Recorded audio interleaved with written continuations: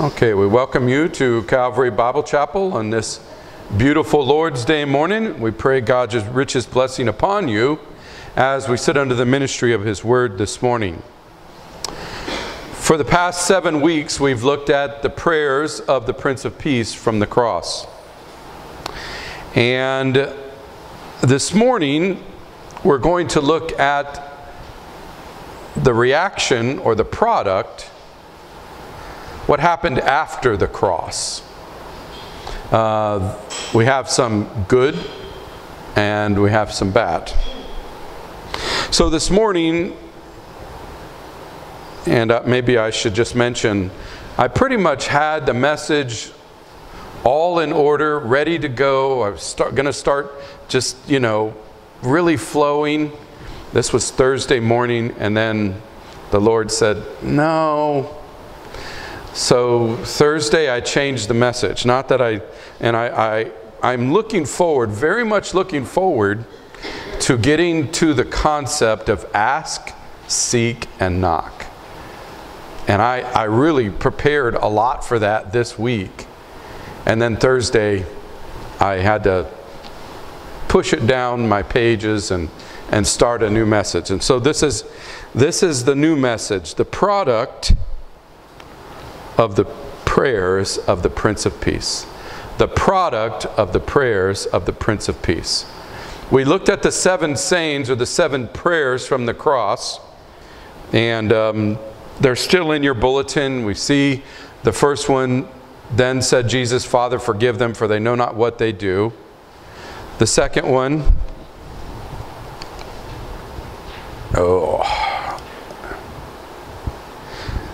The remembering Redeemer, Jesus said unto him, to the thief, Verily I say unto thee, today thou shalt be with me in paradise. Woman, behold thy son, and son, behold thy mother. My God, my God, why hast thou forsaken me? Into, oh, I thirst. I'm sorry, I forgot. It is finished, and into thy hands I commit my spirit. So we looked at those for the last seven weeks. Now, I would like to read each of the Gospels, starting in Matthew chapter 27.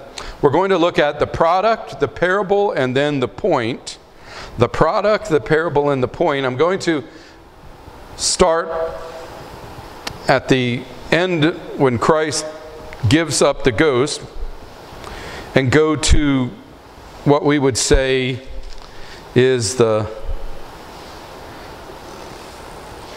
last of the reactions or the product.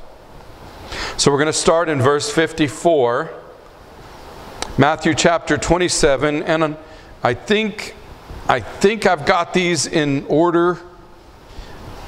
All of the people and their reactions, I'm going to skip the uh, the veil rending, and I'm also going to skip the, uh, the people who came back from the grave and walked around in Jerusalem.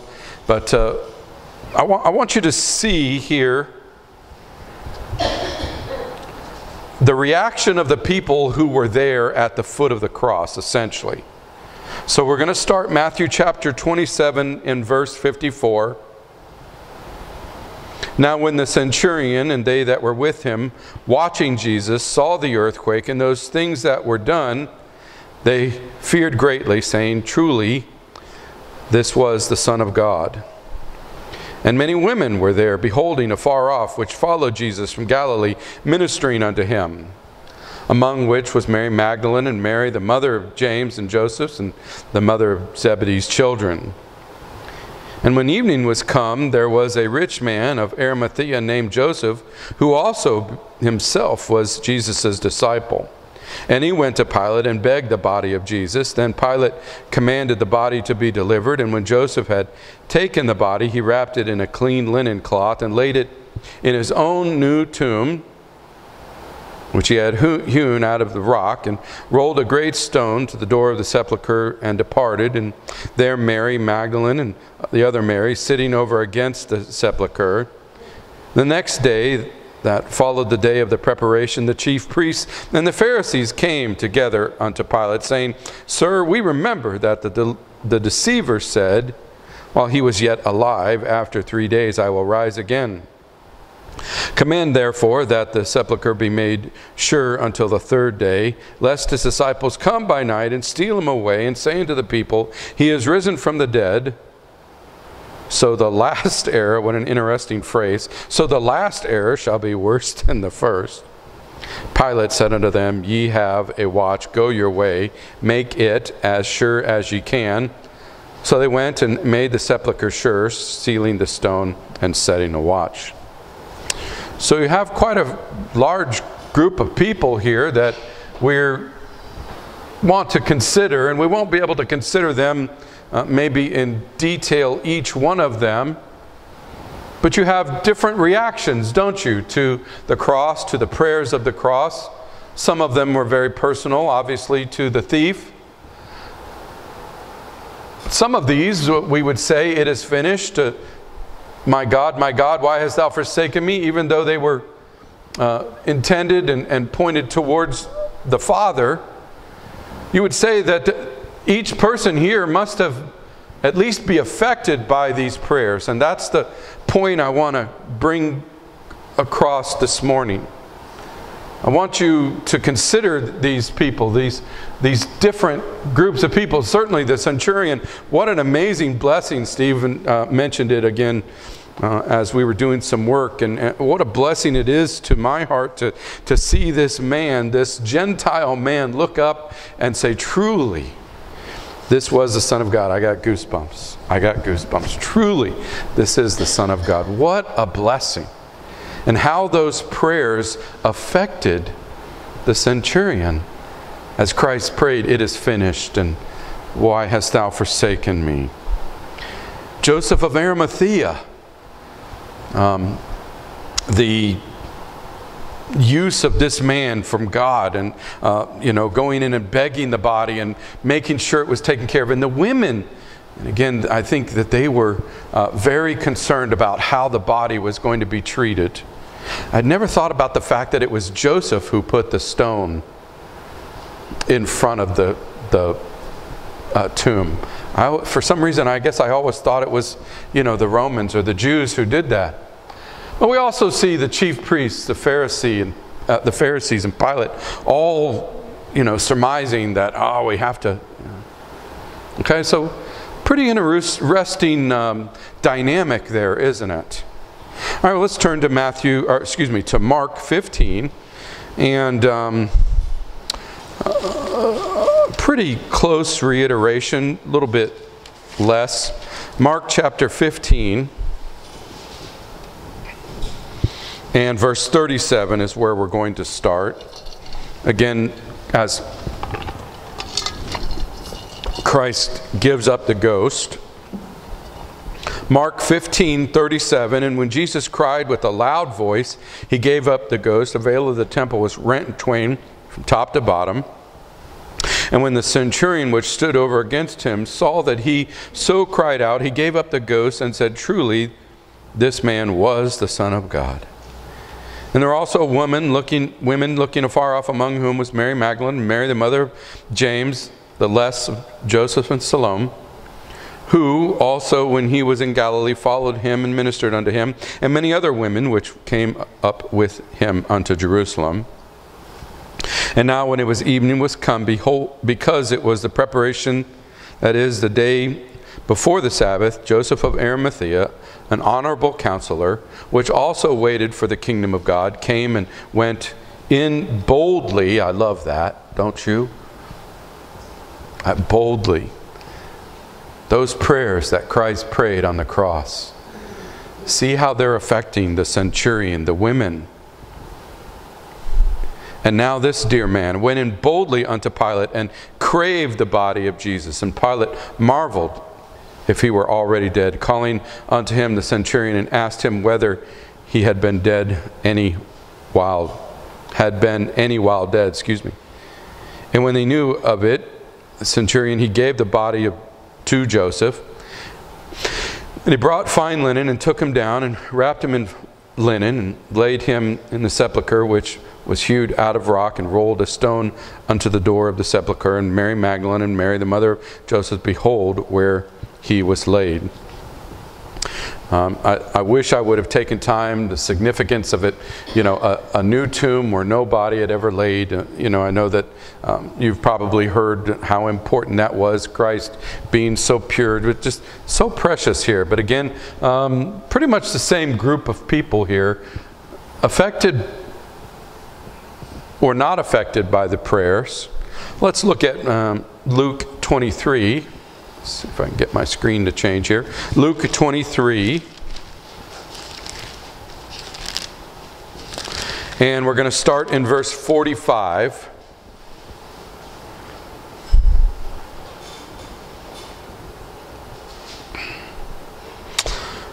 I guess we can start in verse 46. Luke 23, 46. Uh, when Jesus had cried with a loud voice, he said, Father, into thy hands I commend my spirit. And having said thus, he gave up the ghost. And when the centurion saw what was done, he glorified God, saying, Certainly this was a righteous man. And all the people that came together to the sight, beholding the things which were done, smote their breasts and returned. Hey, there's a new group. And all his acquaintances and the women that followed him from Galilee stood afar off beholding these things. And behold, there was a man named Joseph, a counselor, and he was a good and just. Same had not consented to the counsel and deed of them. Uh, important, very important that there was not a unanimous decision. And even though there wasn't a unanimous decision, they again went ahead with um, the trials, Annas and Caiaphas. He was of Arimathea, city of the, of the Jews, who also waited for the kingdom of God. This man went unto Pilate and begged the body of Jesus, and took it down, and wrapped it in fine linen, and laid it in a sepulchre that was hewn in stone, wherein never man before was laid.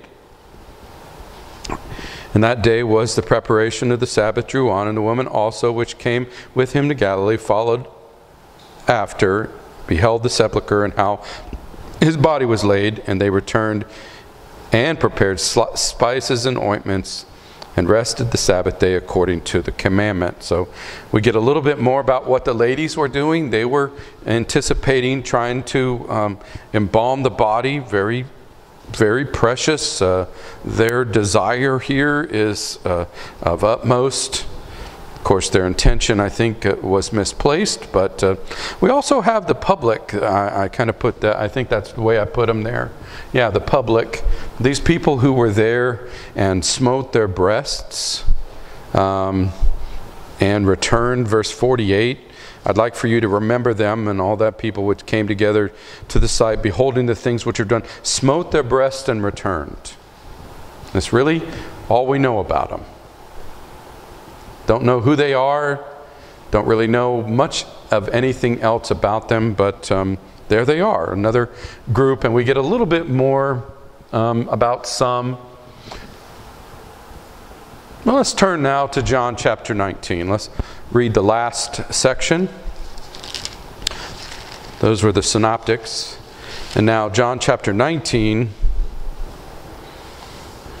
And we're going to start in verse 30. John chapter 19 and verse 30. When Jesus therefore had received the vinegar, he said, It is finished, and he bowed his head and gave up the ghost. The Jews, therefore, because it was the preparation, bodies should not remain upon the cross on the Sabbath, for the Sabbath day was an high day, besought Pilate that their legs might be broken and that they might be taken away. In other words, they wouldn't be able to lift themselves up to take a breath so that they would die quicker. The hypocrisy here, huh, of the Jews. Then came the soldiers and brake the leg of the first and of the other, which was crucified with him. But when they came to Jesus, saw that he was dead already, they brake not his legs. Obviously, scriptures would foretell that uh, he would not have any bones broken, but the scriptures also say that he would have his um, side pierced, right? But one of the soldiers, with the spear pierced his side, and forthwith there came out blood and water. Just, uh, I probably should have asked Steve before I got up here, but uh, as far as I know, there's a compartment around your heart that's filled with liquid and it keeps the heart from drying up. And so, can you imagine the thrust of that spear as it went into his side? That it would actually have to go up even to about right here. Now, why would the soldier do that? That was one of the questions I had for myself this week. I never, I guess I never really thought about why would he do that? And most commentators believe that he wanted to make sure that Jesus was dead. And a wound of that extent would most definitely make Jesus dead if he wasn't dead already. So this was a very, very deep wound. So much you may remember that Jesus said, You can thrust your hand into my side. So it would have at least be, the wound would have to be, the cavity would have had to have been at least the size of a man's hand. And to be that deep that it would go into, do you know the, yeah, that, what he said. yeah, that had to have been pierced and then blood and water must have rushed out. But there's no doubt that uh, this convinced everybody that Jesus was dead. So you have this soldier, he's new to us here in John chapter 19. Let's pick it up again in verse 35. And when he saw it bear record, and this record is true, he knoweth that he saith is true, that he might believe. Who, who saw it? Who is, who is verse 35 talking about? He's talking about John. The writer, he's saying, I who saw it bear record, and this record is true, and he knoweth that he saith true, that ye might believe. John is giving his own personal account that not a bone was broken, was side was pierced according to the scriptures. Look at verse 40, uh, 36. For these things were done that the scriptures should be fulfilled. A bone of him shall not be broken. And again, another scripture saith, They shall look on him whom they have, whom they pierced. Well, we're introduced again to Joseph of Arimathea in verse 38. And after this, Joseph of Arimathea, being a disciple of Jesus, but secretly for fear of the Jews, oh, that gives us a little bit more now you may appreciate when it says in the other Gospels that he went in boldly. Do you think that the prayers on the cross had a good effect on Joseph of Arimathea? I think so. But secretly, for fear of the Jews, besought Pilate that he might take away the body of Jesus. And Pilate gave him leave. He came, therefore, and took the body of Jesus. Oh, here's someone new, verse 39. And there came also Nicodemus. You remember Nicodemus from John chapter 3? Here he is again. You remember he came by night to see Jesus, and we're not sure if uh, he was just real busy during the day or if he was maybe a little tentative. Not sure. But here's Nicodemus. What an effect the prayers on the cross must have had to Nicodemus.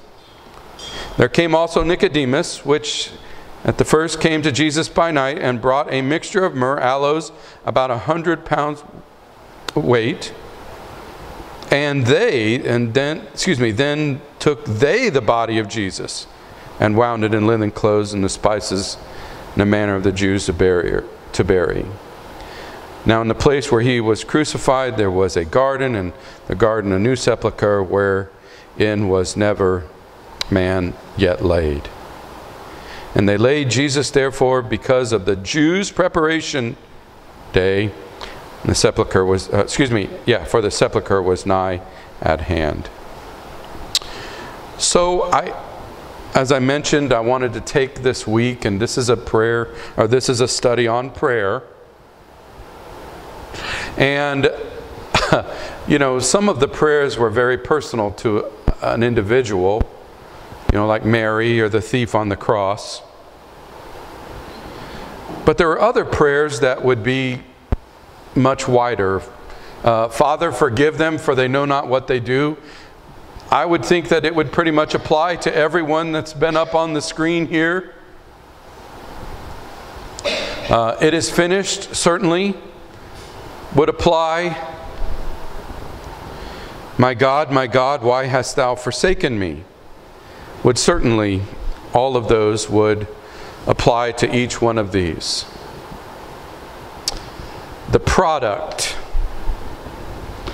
So, as I started this uh, study this week, I I got to thinking about the parable of the sower.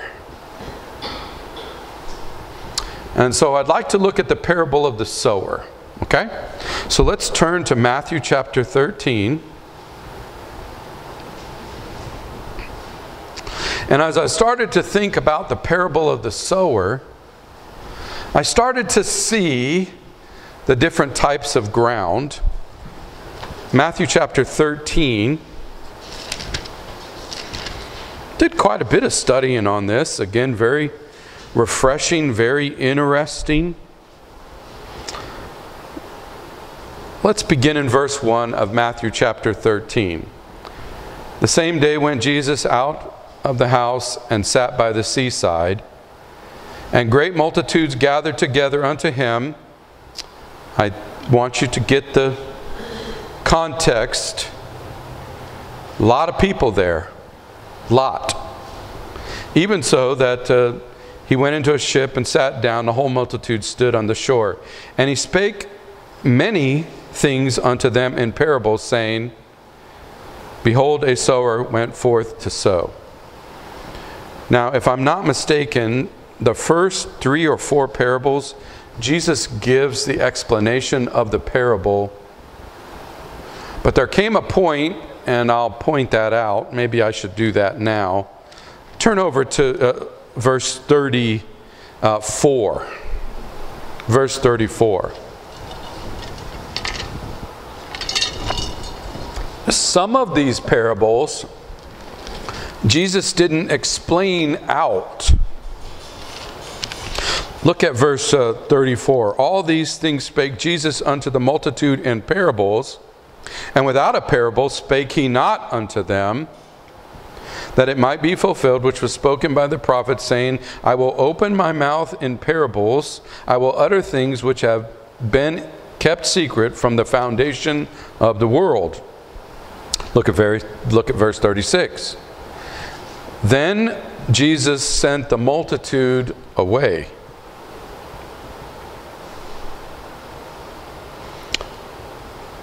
Is that the Jesus that we know? Jesus sending the multitude away? And went into the house, and his disciples came unto him, saying, Hey, we, we didn't get the parable. We didn't understand it. Declare unto us the parable of the tares of the field. And we won't take the time to read Jesus' explanation. It's not the uh, point this morning, essentially, to go through each one of these parables, but um, they asked for the interpretation and they got it. Did you catch that? They asked for the interpretation and they got it. Not everyone got the interpretation. Only those who asked got the interpretation. Okay?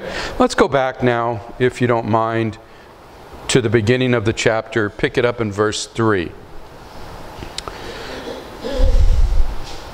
Up to this point in Jesus' ministry, and if you were to look at where we are in the time frame, we're about a year and a half in. Up to this point, Jesus didn't use many parables. But to this large group of people, he speaks to them in parables.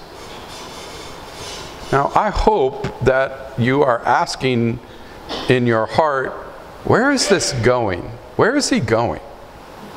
We just looked at the prayers of the cross, and now Pastor, this goofball up here is talking about parables. How, where are we going here? Will you give me a minute to make it? Okay? Just, just cling on for just a few more minutes. Let's look at the parable. Verse 3 He spake many things unto them in parables, saying, Behold, a sower went forth to sow. And he sowed, some seeds fell by the wayside. The fowls came and devoured them up. Some fell upon stony places where there had not much earth, and forthwith they sprung up because they had no deepness of earth. And when the sun was up, they were scorched because they had no root, they withered away. And some fell among thorns, and the thorns sprung up and choked them. But others fell into good ground and brought forth fruit, some a hundredfold, some sixty, and some thirty. He that hath ears, let them hear. So he starts to speak in parables, and the disciples notice this, and they ask him in verse 10 The disciples came and said unto him, Why speakest thou unto them in parables? I don't know that they're. Can you imagine them coming up to Jesus and saying, uh, I don't know that they're getting the, the point of these parables. And Jesus says, I know. I know. And he goes on to quote uh, from Isaiah. Uh, Verse 11, he answered and said unto them, Because it is given unto you to know the mysteries of the kingdom of heaven, but unto them it is not given. Can I stress that? Why wasn't it given unto the large group or crowd of people?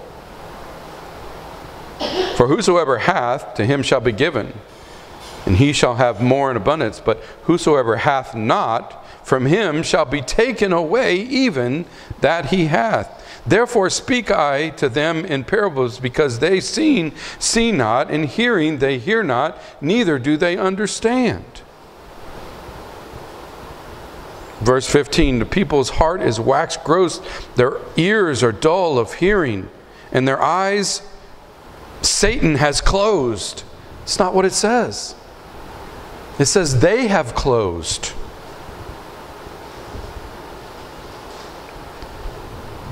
lest they at any time should, with their eyes, see with their eyes, hear with their ears, and should understand their heart and should be converted and should be healed. Blessed are your eyes, verse 16, for they see, your ears, for they hear. So Jesus gives the reason why, and you'll, you'll never be able to convince me that Jesus didn't want these people to understand what he was saying. Jesus wanted these people to understand, but he also knew that they did not want to truly understand what he was saying. They, they didn't want the spiritual deep meaning of these passages of Scripture, these great parables. Jesus realized that he was going to have to be rejected and go to a cross. The nation of Israel, for the most part, was rejecting him at this very moment. I'm not saying that individuals couldn't still come to him, but a nation as a whole was rejecting him, and so he actually started talking to them in parables. Why? Because they had plugged their ears, they had covered their eyes, and they had made their hearts hard. These Christ rejecting Jews clearly showed that they were not with Christ and therefore they were against him. Their attitude of rejection is stated in the, Luke, in the Gospel of Luke we will not have this man reign over us. As a result, the kingdom of God did not immediately appear. It was postponed, and that's what was going on. And by the way, we live in the postponement. We're living in the postponement of the kingdom.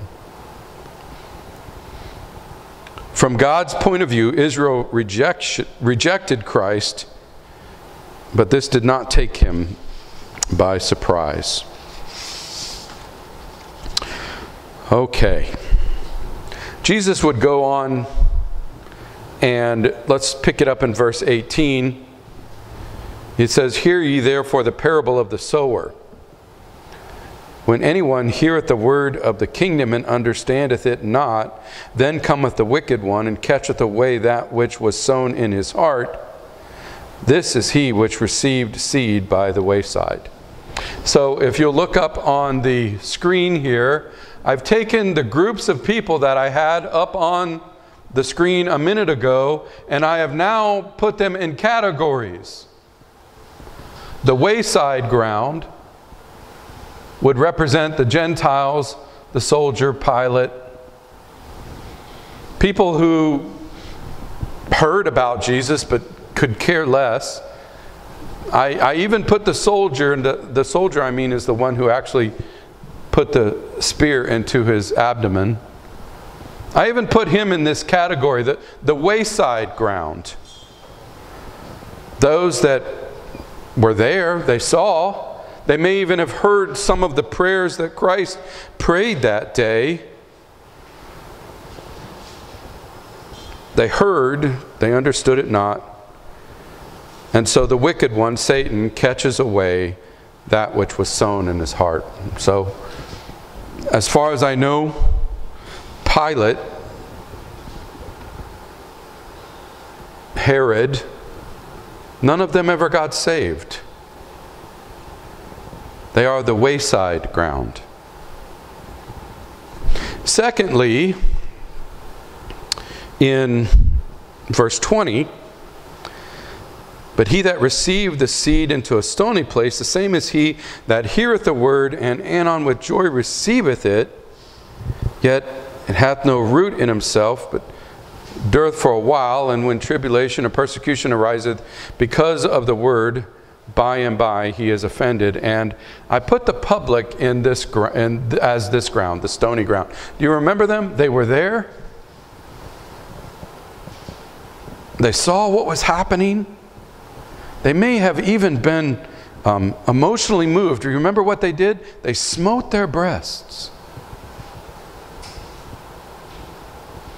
But that was it.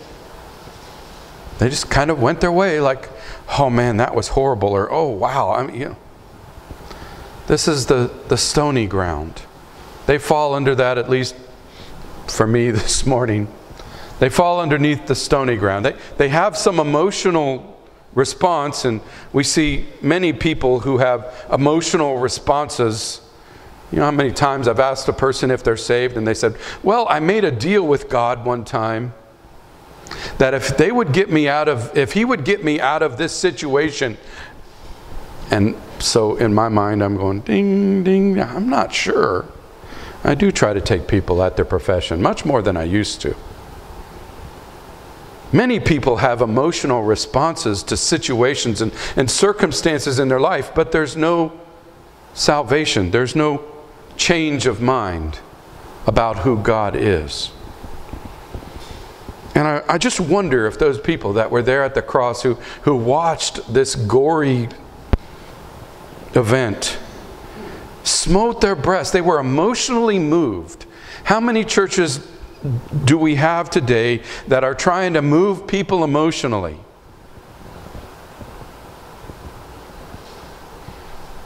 You know, we're, we're in this time now where you have this praise and worship. So you have, you know, people who come up on stage and they sing the same uh, refrain over and over, and you're supposed to be standing. What, what are they doing? They're trying to get you so emotional.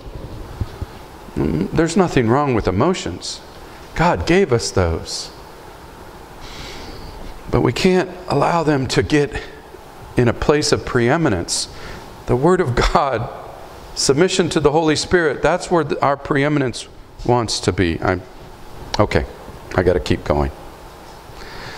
We also have now the thorny ground.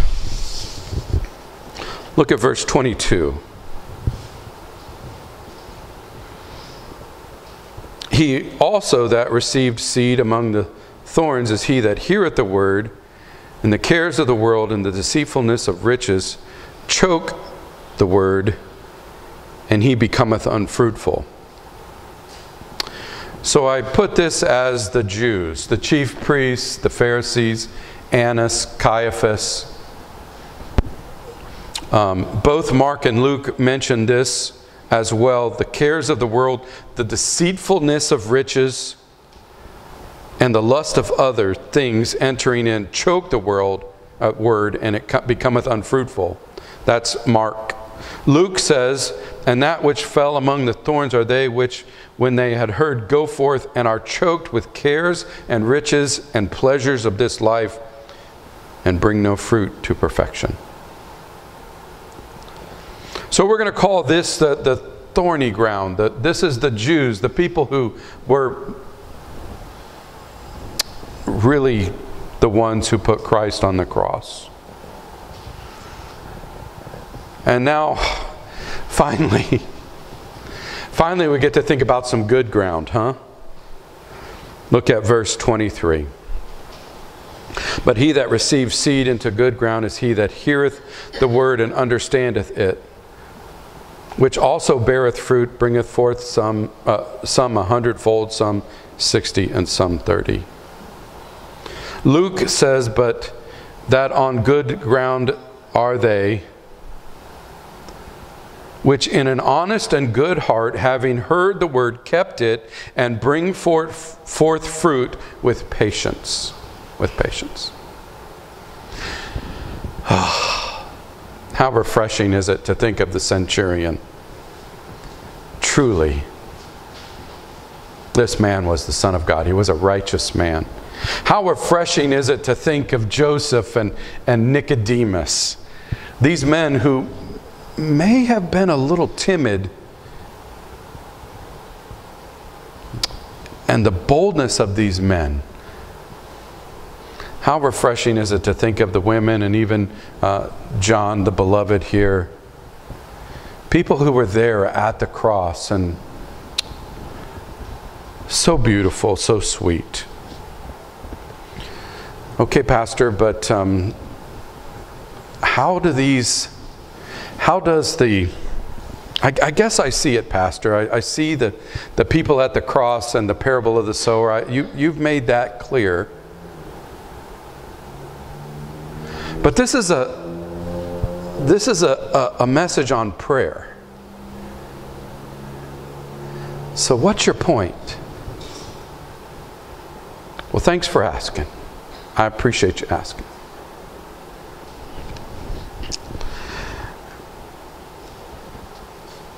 Jesus prayed some of the most immense, I, don't know, I'm, I'm a loss for words, prayers on the cross. My question is how many of them do you think got answered?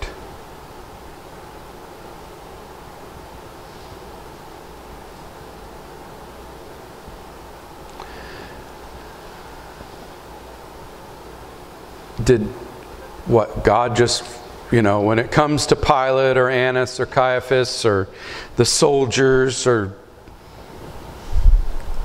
I mean, it's it's easy for us when we think how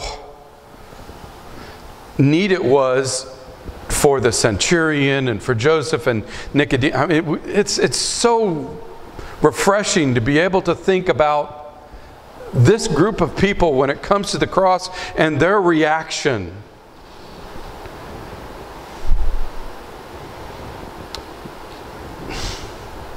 Sorry. We're going to think about the others.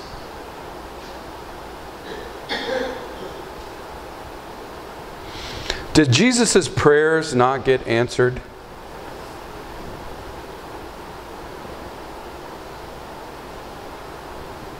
For the other groups? I believe they did. Now, they didn't get answered the way that I want them to get answered, and I can also believe very confidently that they didn't get answered necessarily the way that Jesus wanted them to be answered. Jesus wanted everyone to be saved. He was dying for them.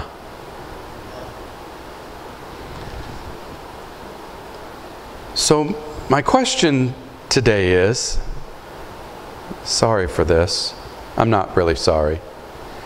But my question today is do all your prayers and desires get answered the way you want them to?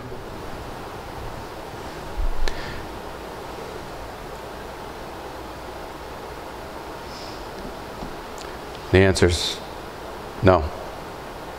From a, from a human perspective, not all of my prayers get answered the way that I want them to get answered. I also want you to see that when Jesus prayed,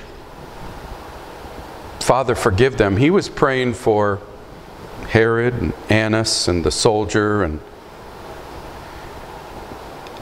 and those prayers were answered. They just weren't answered the way that I think they should be answered. And that's the point of this message this morning.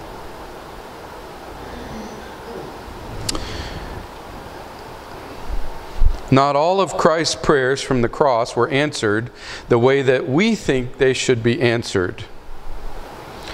Does this mean that Jesus' prayers weren't heard? No. When your prayers aren't answered the way that you think they should be answered, do you think God didn't hear you? No.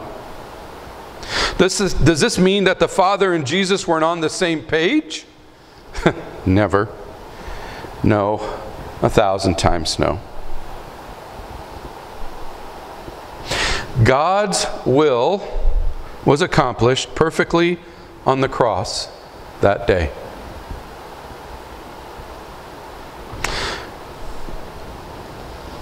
God's will and God was glorified in everything that happened that glorious, victorious, miraculous day.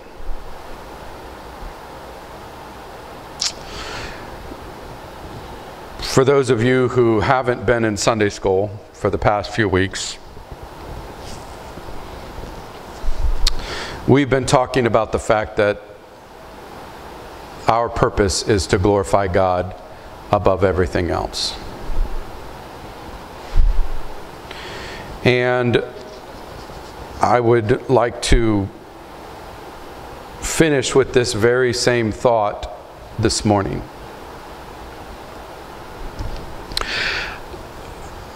Just because God's answer to our prayers isn't what we want doesn't mean that our prayers haven't been answered. And I wanted to give you Jesus as the primary example. Did Jesus want Annas to be forgiven for his sins? Caiaphas, Herod, all of those wicked men who um, you know, even the people who smote their breasts and left, and many of them may have gotten saved later, I don't know, but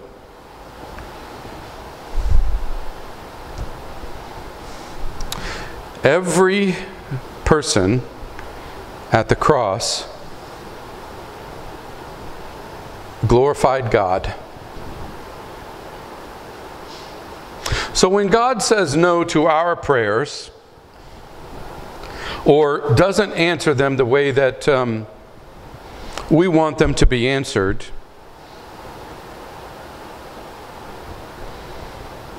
they were answered the way that He wanted them to be answered. Are we willing to submit to that? Jesus was.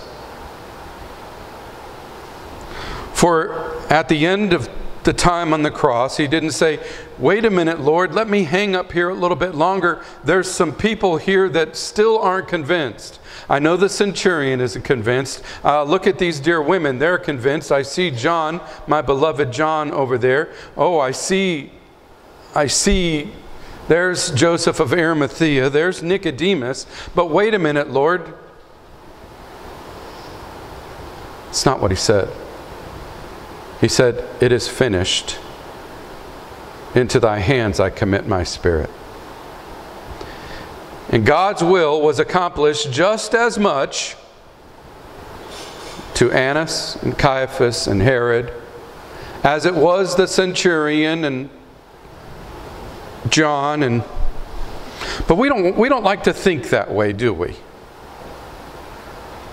I mean, we, we'd love to think about the centurion and what a blessing he's been to my heart this week just to think about this Gentile man who would say, truly, this was the Son of God.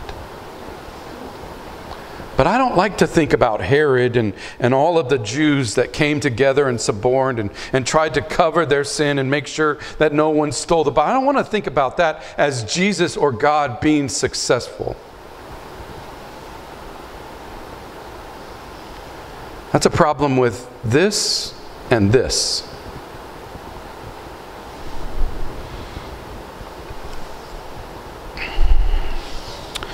So I have there at the bottom here God has, is, and will answer every one of your spirit filled prayers for his glory and your good. Every one of those prayers on the cross were answered for God's glory and for our good. Even though some men never came to know Christ as their Savior. God's glory is the manifestation and demonstration of who God is. Some of this will be for a review for some of you who have been in Sunday school. The living God is made himself known. This is his great purpose, and this is his great program. Even lost souls in the eternal lake of fire will bring glory to God, their Creator. Not all will be saved, and we see that. And so I've taken this principle that we've been thinking about for the last few weeks. I've taken this principle and I've applied it to the cross and the prayers of Jesus on the cross.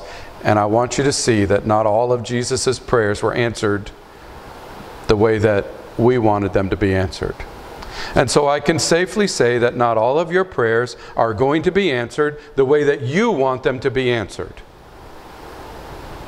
And that's okay. And it better be okay with us.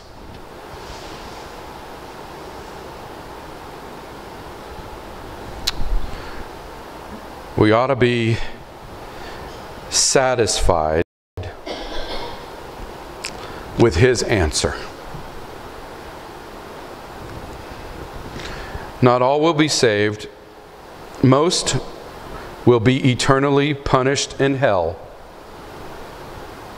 But God will be glorified. God's glory is the outward manifestation of who God is in his wonderful attributes and perfections.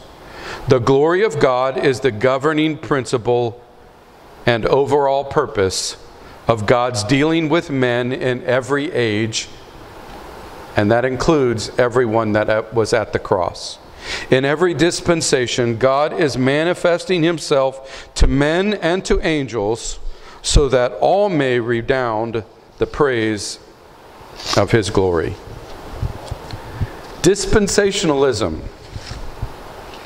places the glory of God above everything else. Whereas there are those who tend to emphasize soteriology uh, the God's purpose in saving men above everything else. The salvation of souls is but one of the means by which God brings glory to himself. Just one. God is doing something very special in every and each dispensation. There was one thing that God is concerned about more than anything else, and it's not the salvation of souls, it's His glory. The glory of God is the outward expression of who God is. The glory of God is making known, uh, making known of God's wealth, worth, and weight. God is a great God, and throughout history, He has been making Himself known to men and to angels. The chief and ultimate purpose in creation and in all that God does is His glory, the manifestation and demonstration of who He is. Do we dare make anything else our chief priority? Do we dare make anything else our chief priority? But, Pastor, I wanted this person to do this. And your intention may be very, very good. But not all of your prayers are going to be answered the way that you want them to be. God's glory is the very reason we are here. We need to be more concerned about God's glory than we are about anything else. To fix our eyes upon anything else than the glory of God can result in disaster. For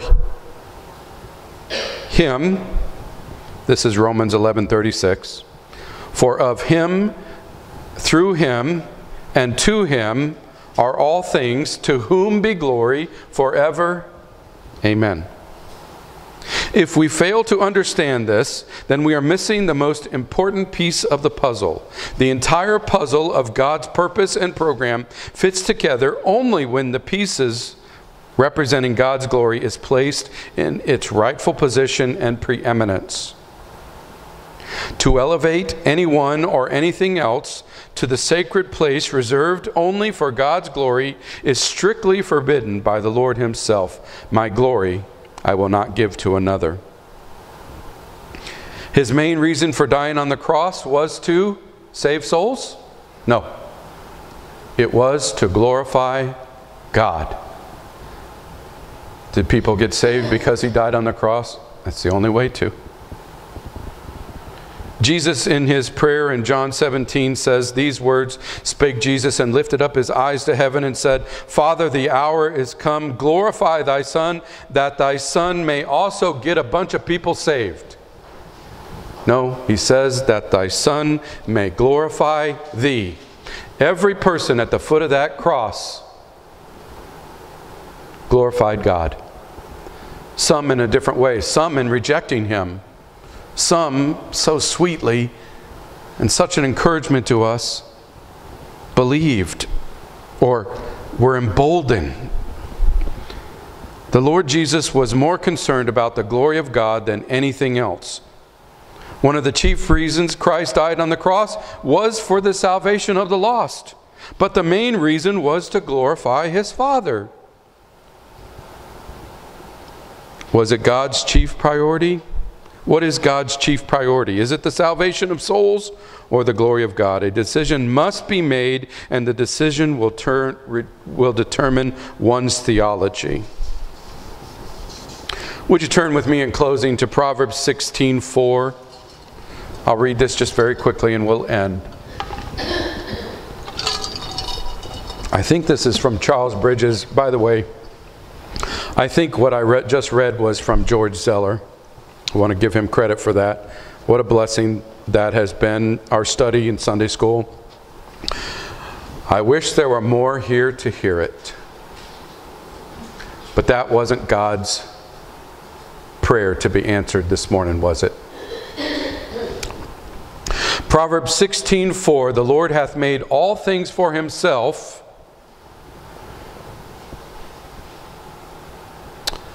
The, the verse isn't done yet, is it?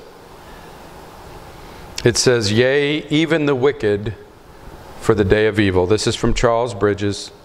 Even the wicked, whose existence might seem to scarcely reconcile the divine perfections, he includes in his grand purpose of setting out his name.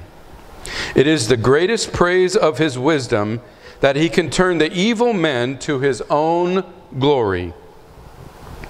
He made even the wicked for the day of evil. Wicked they are of themselves. He made them not so. He compels them not to be. He abhors their wickedness, but he foresaw their evil. He permitted it, and though he had no pleasure in their death, he was glorified in them in the day of evil. And when they sin by their own free will. He ordains, ordains them to punishment as the monuments of his power, his justice, and his long suffering. Clearly, God is not the author of sin. He cannot impart what he has not, what is contrary to his nature. Infinite perfection cannot impart imperfection. Absolute holiness cannot be the cause of sin. He can decree nothing but good. If he permits evil, as so far as to not hinder it, he hates it as evil and permits it only for the greater good. The greatest of all good, the more full manifestation of his own glory in it and out of it. He will be glorified or on all of his all his creatures. All thy works shall praise thee, O Lord. His retributive justice, no less than the riches of his grace, set out his glory. I'm going to say that one more time, last phrase. His retributive justice, no less than the riches of his grace, sets out his glory. You will not be able to convince me that Jesus was a failure at the cross. Every one of those prayers were answered.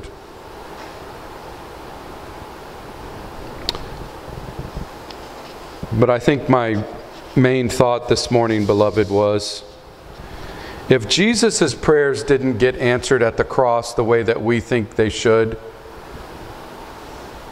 what are we going to do the next time that one of our prayers doesn't get answered the way that we think we should have it answered. And I, I, believe with all my heart that you, you have the utmost desire. You have the, the best well being for your family member, for your loved one. But God doesn't answer that prayer that way. What are you going to do? You're going to think that God didn't hear you. You're going to think that God doesn't love you. You're going to think that, I don't know. Those would all be very unscriptural, wouldn't they? God hears your prayers and is answering them, isn't He? Even though they may not be answered the way that we think they should be answered. Let's pray. Thank you, Father, for the product at the cross. Thank you, Father, that each one of these people those prayers from the Lord Jesus were answered, some in a positive way and some in a negative. Forgive us, Father, for not thanking you enough for the positive answers to prayer. And forgive us, Father, for not thanking you for the negative way that sometimes these prayers are answered of ours. God says, No, I will not violate that person's free will. Forgive us for not glorifying you when He says no or wait. It is for our greater good and most importantly for your glory. Forgive us for our frailty. Help us, Father, to align ourselves with this wonderful book. Through the enabling work of the Holy Spirit, we ask it in Jesus' precious name. Amen.